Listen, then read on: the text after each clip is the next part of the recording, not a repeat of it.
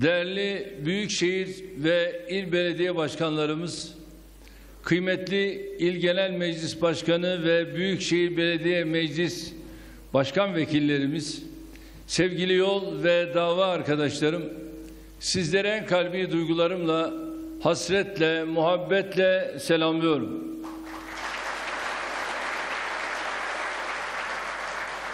Toplantımızın ülkemiz, milletimiz, partimiz için hayırlara vesile olmasını Rabbimden niyaz ediyorum. AK Parti 7. olağan kongre sürecini belirlediğimiz takvime uygun şekilde sürdürüyoruz.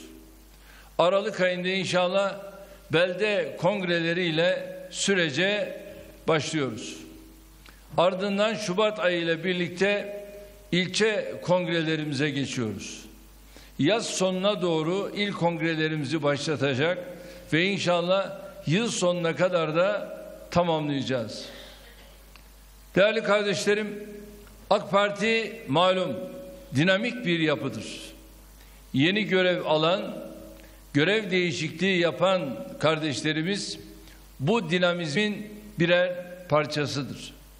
Hangi seviyede olursa olsun bu çatı altında vazife üstlenen tüm kardeşlerime şükranlarımı sunuyorum.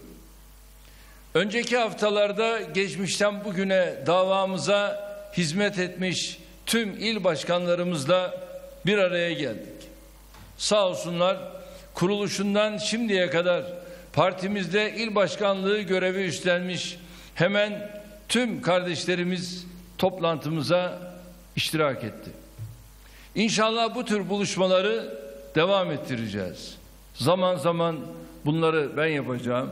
Zaman zaman başkan vekilim yapacak ve bir de tabii ilgili birim başkanlarımız da bu toplantıları yapacak. AK Parti'de eski diye bir kavram yoktur. Her AK Partili son nefesine kadar bu kutlu davanın mensubudur. Partimizde sadece görev değişikliği olur.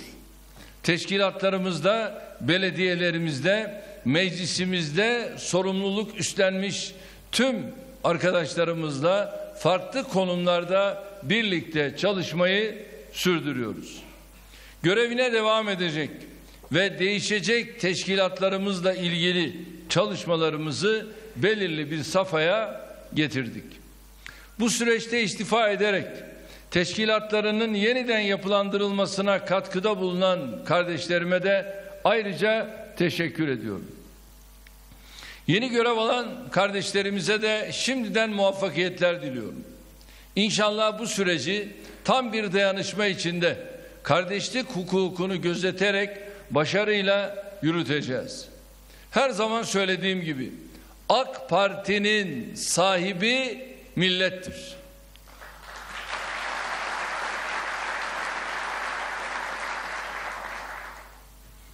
Bunun için teşkilatlarımızın milletimizde en güzel kucaklaşmayı sağlayacak isimlerden oluşması gerekiyor. AK Parti'de ilçe başkanı, il başkanı, yönetim kurulu üyesi, belediye başkanı, milletvekili olmak demek günün 24 saati milletin emrinde olmak demektir. Böyle bir çalışma temposunu göze alamayan bu tür görevlere de talip olmamalıdır.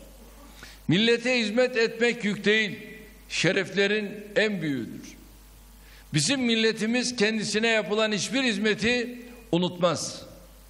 Bu hissiyatını hem gönlünde yaşatır hem de önüne geldiğinde sandıktaki iradesiyle ortaya koyar. AK Parti kimliğiyle milletimizle muhatap olan her kardeşimizin bu gerçekler ışığında çalışmalarını yürütmesi gerekiyor. Özellikle 2018 ve 2019 seçimlerinin sonuçlarını adeta sandık sandık, mahalle mahalle, ilçe ilçe tetkik ederek gereken dersleri çıkarmamız şarttır. Şayet bir yerde oyumuz düşmüşse, hele hele milletvekili ve belediye başkanı sayımız azalmışsa hiçbir şey yok gibi hareket edemeyiz. Bu tür yerlerde önce teşhisi doğru koyacağız. Sonra da en ideal çözümü hayata geçireceğiz. Teşkilat başkanlığımız başta olmak üzere genel merkezimizdeki tüm birimlerimizin bu konudaki çalışmalarını titizlikle yürüttüklerine inanıyorum. Kongrelerimizde ortaya çıkacak yeni teşkilat yapımız 2023 ve 2024 seçimlerindeki başarılarımızda hayati rol oynayacaktır. Bunun için en küçük bir eksikliğe, boşluğa, hataya meydan vermeden süreci tamamlamalıyız. Değerli arkadaşlar, Türkiye güvenlikten ekonomiye kadar pek çok cephede aynı anda beka mücadelesi verdiği bir dönemden geçiyor. Bizim dışarıdan gelen tehditlerin üstesinden gelme konusunda en küçük bir sıkıntımız yoktur. İster sahada, ister masada olsun. Ülkemizin ve milletimizin geleceği için tehdit teşkil eden her türlü hamleyi bertaraf ediyoruz. Teröristleri öne sürüyorlar. Ezip geçiyoruz. Sınırlarımızı taciz ediyorlar. Tehditlerin kaynağına iniyoruz. Ekonomimize saldırıyorlar. Kısa sürede toparlanıp yolumuza devam ediyoruz. Dışarıdan bizi köşeye sıkıştırmaya çalışıyorlar. Dostluklarımızı tazeleyerek bunu da boşa çıkartıyoruz. Gerçekten de sadece son birkaç yılda Suriye'de, Irak'ta, Doğu Akdeniz'de, sığınmacı meselesinde ve diğer pek çok konuda elde ettiğimiz sonuçlar başlı başına bir başarı hikayesidir.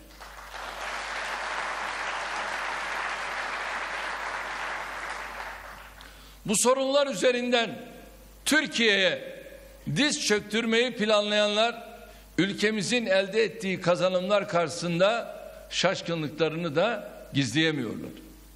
Ülkemize ve milletimize husumet besleyenleri şaşırtmak bizim için en büyük şereftir. Yürüttüğümüz mücadelede en büyük güç ve moral kaynağımız milletimizin desteğidir. Yurt içinde ve yurt dışında gittiğimiz her yerde karşılaştığımız samimi sevgiseli bunun en büyük ispatıdır. Ancak beka mücadelemizde durum böyleyken iç siyasette bambaşka bir fotoğrafla karşı karşıyayız. Cumhur İttifakı içinde birlikte olduğumuz Milliyetçi Hareket Partisi ve diğer kardeşlerimiz sağ olsunlar bugüne kadar attığımız her adımda bize destek verdiler. Buna karşılık CHP ve HDP ile onlarla birlikte hareket eden marjinal çevreler yalanda ve iftirada adeta sınır tanımıyorlar.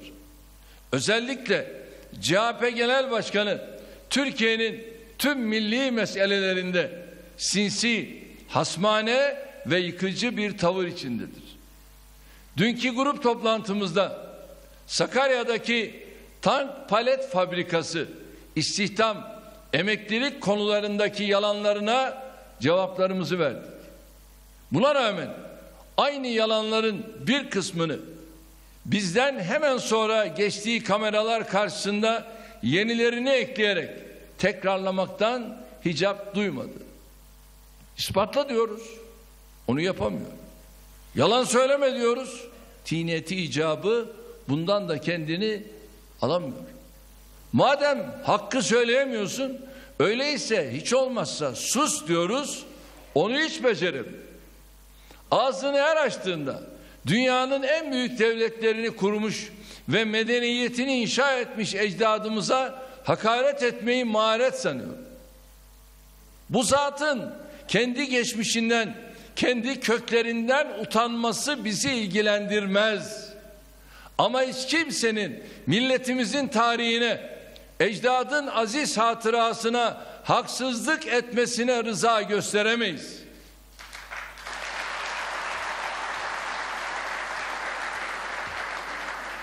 Bu kişinin sadece ecdada değil, milletimizin bugün yaşayan fertlerine ve bilhassa çocuklarımızın geleceğine de saygısı yok. Daha önce de söylemişti. Geçtiğimiz günlerde aynı hezeyanı tekrarladı. Neymiş efendim? Can ve mal güvenliği olmayan ülkeye yabancı sermaye gelmezmiş. Yani yabancılara Türkiye'ye yatırım yapmayın diyor. Kendi ülkesini küresel sermayeye kötüleyerek dış yatırım gelmesinin önüne geçmeye çalışmanın adı açıkça söylemek gerekirse ihanetin dik alakası, ala, alakasıdır.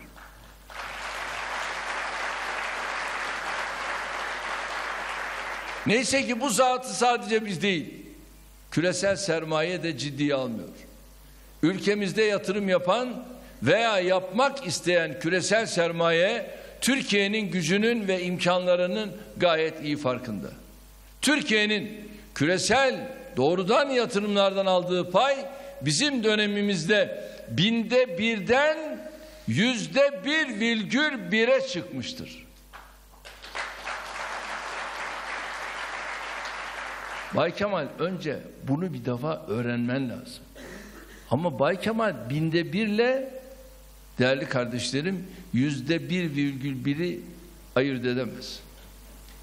Uluslararası firmaların çoğu özellikle Batı medyasının ve ülkemiz karşıtı lobilerin baskılarına rağmen yatırım için Türkiye'yi tercih ediyor.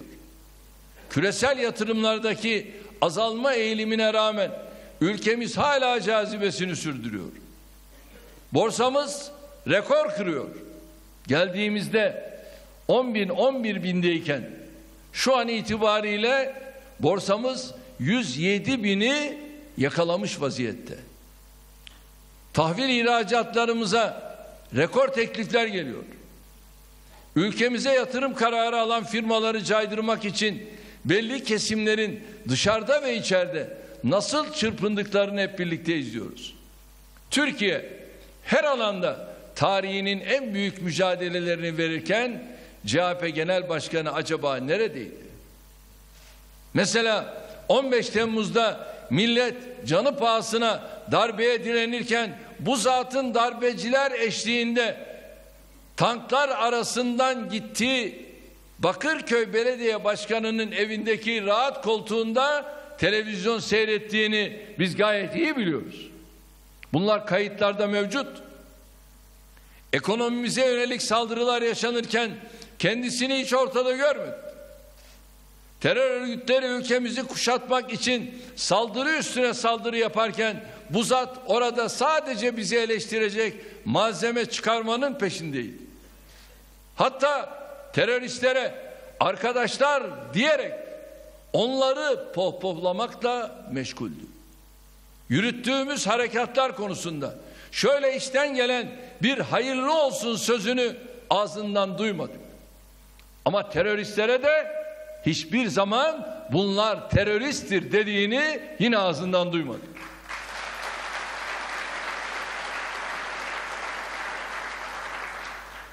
Her milli meselemizde karşımızdakilerin ağzıyla ve üslubuyla bize saldırıyor. Dediğim gibi Allah'a şükür bu zatı sadece biz değil dünyadaki hiç kimse ciddiye almıyor da zararı sadece kendi partisiyle sınırlı kalıyor. Bu hastalıklı zihniyet işte dün parlamentoda bizim grup başkan vekilimiz bir hanımefendiye bunlar parlamentoda saldırdılar. Aynen geçmişte olduğu gibi. Geçmişte de malum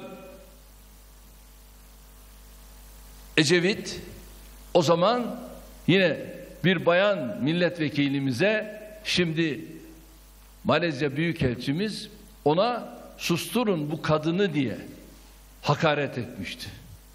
Şimdi dün de herhalde oradan ilhamla grup başkan vekilimiz Özlem Hanım'a susturun bu kadını diyecek kadar ahlaksız, edepsiz bir şekilde davranan bir CHP'nin yetkilileri var.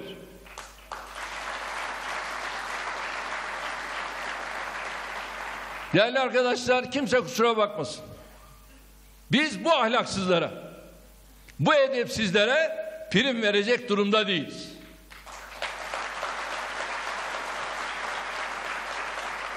Yani tüm grubumuz hele hele bir bayan milletvekilimize, bir bayan grup başkan vekilimize bu şekilde saldıracak olan ahlaksız, edepsizlere bu parlamento içinde parlamentonun gereken cevabı da vermesi lazım. Ceza ise ceza vermesi lazım. Efendim işte özür diledi. Bıraksınlar bu işi. Bunlar öyle kuru özürle geçiştirilecek işler değil. Neyse parlamentonun iş tüzüğündeki bunlara veya disiplindeki cezai müeyyideler bunların verilmesi lazım. Ve bu zatların yaptıkları ilk defa değil bu. Sürekli yaptıkları şeyler bunlar. Zaten bunlar başkanları şahsıma. Bir diğeri yine bir konuşmasında şahsıma yine bu parlamentonun çatısı altında her türlü hakareti edepsizce yaptılar. Bunların edepsizlikleri karşısında artık susmak diye bir şey yok. Gereği neyse aynen bunlara cevabını vereceğiz.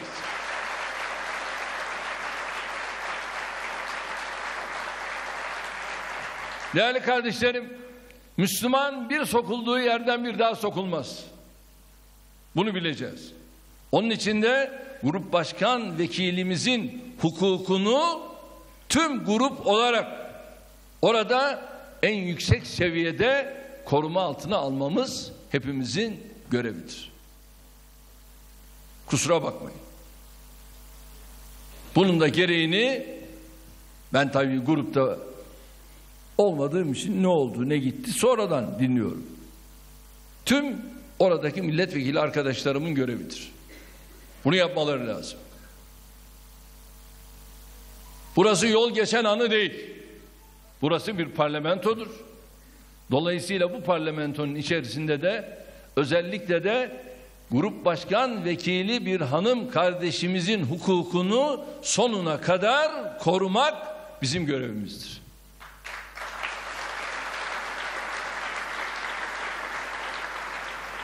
Bu hastalıklı zihniyete rağmen biz güçlüyüz. Ve güçlenerek yolumuza da devam ediyoruz. Ve ülkemizi bunlara rağmen kalkındırıyoruz. Kalkındırmaya da devam edeceğiz. Değerli arkadaşlar, güvenlik meselesi bizim olmazsa olmazımızdır. Bağımsızlığımızı korumanın yolu, sınırlarımız içinde ve dışında güçlü bir devlet olarak varlığımızı sürdürmemizden geçiyor.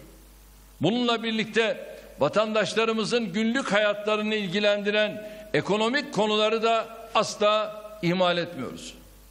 Geçtiğimiz 17 yılda ülkemiz ekonomisini geliştirip büyüterek insanlarımızın hayat kalitesini yükselttik. Öyle ki biz hükümete geldiğimizde devlet vatandaşına borçluydu. Bay Kemal burayı iyi dinle. Sen bu işlerden pek anlamazsın. Ama öğreteceğiz sana da bunu.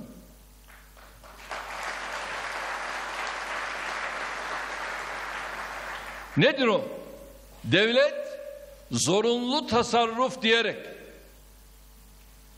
et tekraru ahsen velev kâne 180. Bunu devamlı söyleyeceğiz. Zorunlu tasarruf diyerek konut edindirme yardımı diyerek vatandaşlarından para kesmiş ancak ne bunun gereğini yerine getirmiş ne de parayı geri ödemişti. Zorunlu tasarruf kesintileri 1 Nisan 1998 ve 2000 yılı Mayıs ayı arasında yapılmıştı.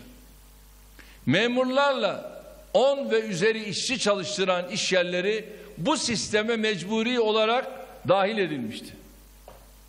Sistemdeki kişi sayısı 10 milyonu buluyordu. Hükümete geldikten sonra bu kesintilerin ana parası ve nemasından oluşan dönemin parasıyla 17 milyar liranın üzerinde bir tutarı biz ne dedik? Ya devlet dedik işçisine memuruna borçlu olur mu ya? Biz bunu hemen ödeyeceğiz dedik. Ve bunu hak sahiplerine biz ödedik. Biz.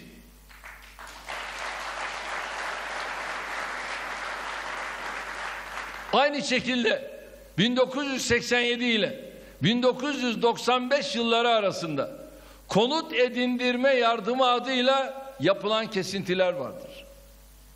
Bu kapsamdaki toplam 8 milyon kişiye de 3,5 milyar liranın üzerinde ödemeyi yine biz yaptık.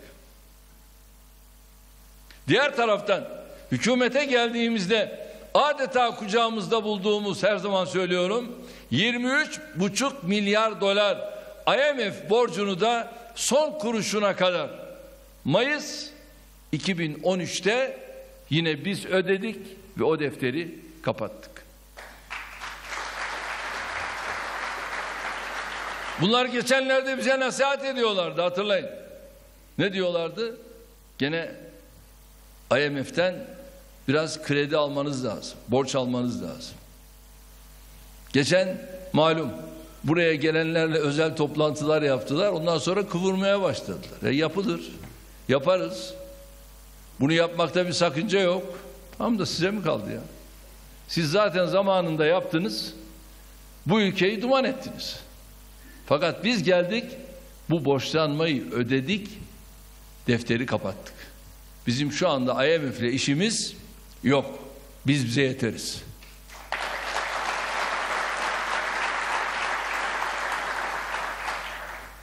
Dikkat ederseniz bunların hepsi de bizden önceki dönemlerde toplanıp harcanan ödemesi bize kalan borçlardır. Hep söylüyorum devlet milletine borçlu olamaz diyerek biz tüm bu meseleleri çözdük. Sadece bununla kalmadık. 2003 2018 yılları arasında ülkemizi ortalama yüzde 5,6 büyüttük. Böylece satın alma paritesine göre dünyanın en büyük 13. ekonomisi haline geldik. 2002'de yıllık sadece 70 milyar lira yatırım yapan Türkiye bugün yıllık 1 trilyon liranın üzerinde yatırım yapma seviyesine ulaşmıştır. 70 milyar nire 1 trilyon nire. Genel ticaret sistemimizdeki ihracatımız hamdolsun 180 milyar doları geçerek her ay rekor tazeliyor. Bu yılın ilk 9 ayında dünya ihracatı yüzde 2,6 azalırken Türkiye'nin ihracatı yüzde 2,9 oranında yükselmiştir. Cari işlemler dengemiz artık açık değil, fazla veriyor. Bu tablo cari açık meselesinin ekonomimizin yumuşak karnı olmaktan çıkmaya başladığını gösteriyor. Döviz kurundaki ve faizlerdeki yükselme sebebiyle kamu borçlanma oranımızda bir parça artış yaşanmışsa da hala Avrupa Birliği kriterlerine göre çok iyi bir durumdayız.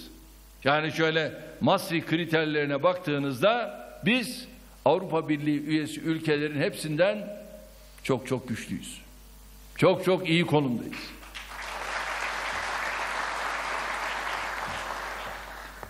Enflasyonu yeniden tek haneli rakamlara indirerek, faizleri hızla düşürerek, ülkemizin üzerindeki kara bulutları dağıtıyoruz. 2020 inşallah faizlerin çok daha düştüğü bir yıl olacak. Şimdi ben buradan girişimcilerimize sesleniyorum. Gelin yatırım yapın. Her sektöre sesleniyorum. Hangi sektörde çalışıyorsa gel yatırım yap.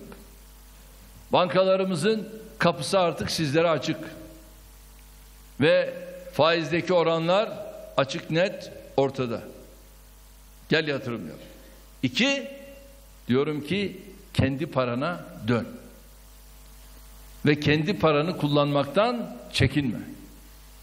Artık dövizde borçlanma değil.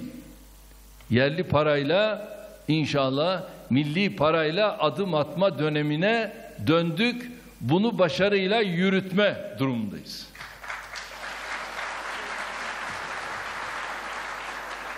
Şu anda geçen yıl yaşanan sıkıntılar sebebiyle gerileyen konut, otomobil, beyaz eşya satışları ile yeni kurulan şirket sayısının yeniden yükselmeye başlaması ekonomideki toparlanmanın işaretlerinden biridir.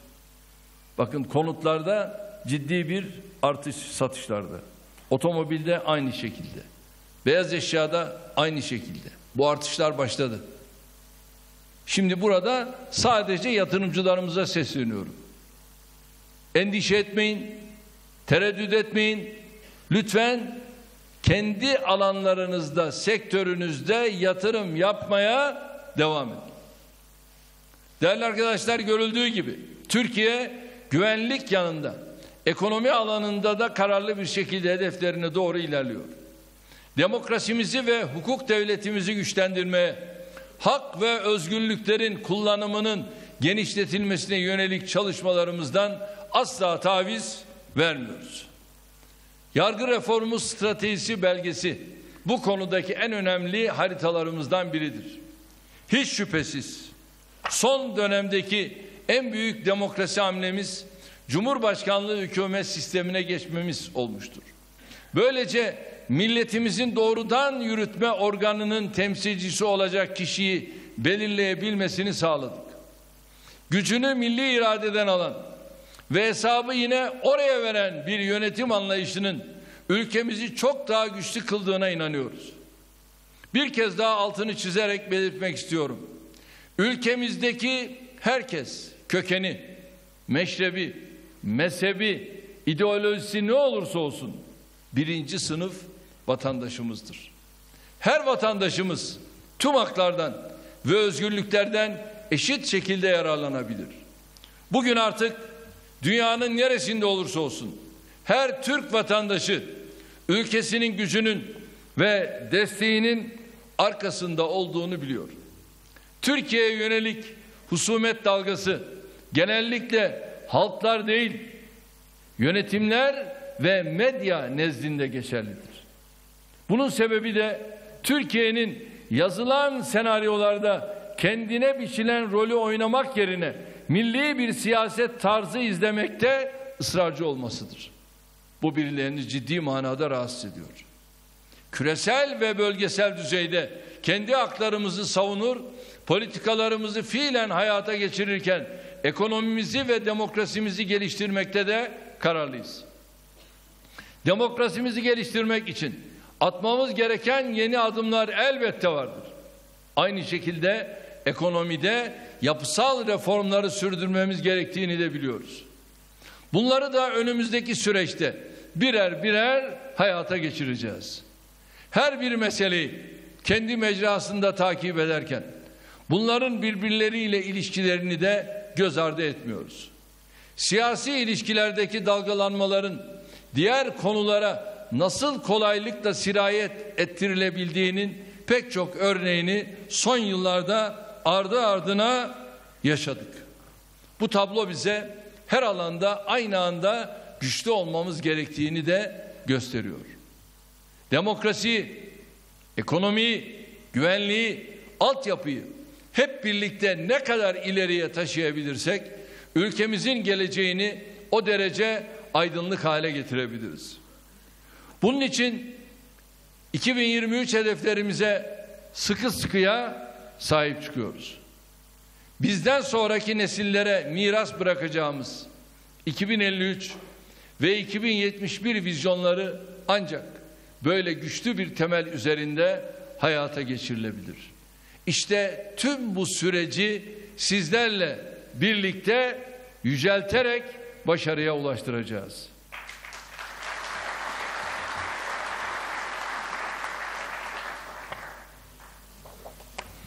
AK Parti Türkiye'nin son 17 yılına damga vurmanın yanında geleceğinin de partisidir. Sizler partimizi ne kadar iyi temsil eder, milletimizle olan bağını ne kadar güçlendirirseniz, ülkemiz de hedeflerine o kadar hızlı ve kararlı bir şekilde yürüyebilir. Bu konuda ben sizlere güveniyorum. Bugüne kadar verdiğiniz emekler ve bundan sonraki çalışmalarınız için her birinize tekrar tekrar şükranlarımı sunuyorum.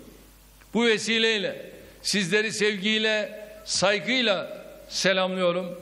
İllerinizde, ilçelerinizde, beldelerinizde amana toprağımıza ve milletimize olan görevimizi yerine dört dörtlük getirelim diyorum. Kalın sağlıcakla.